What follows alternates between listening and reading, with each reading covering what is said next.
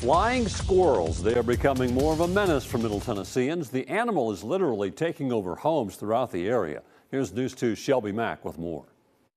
Flying squirrels are wreaking havoc across Middle Tennessee.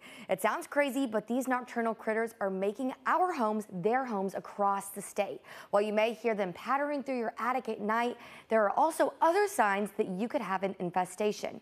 Adam Higdon, a wildlife biologist that is the Region Service Manager for Critter Control Operations, explains other ways you can tell these rodents have snuck into your house a lot of times we get calls about animals or you know flying squirrels in particular um, whenever they may have an electrical issue or a heat and air issue something like that. You know may, maybe for one example um, a light flickers in this one part of the house and they call an electrician out and they come to see that the wires have been chewed.